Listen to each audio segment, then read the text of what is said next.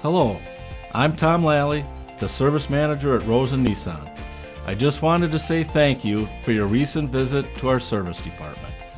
At Rosen Automotive, we're dedicated to providing a truly exceptional service experience, and I hope my team did that for you.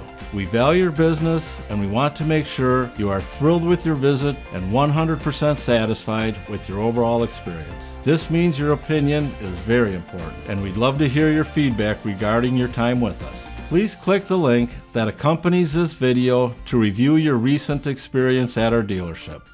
It will only take a moment of your time and it helps us to serve you even better.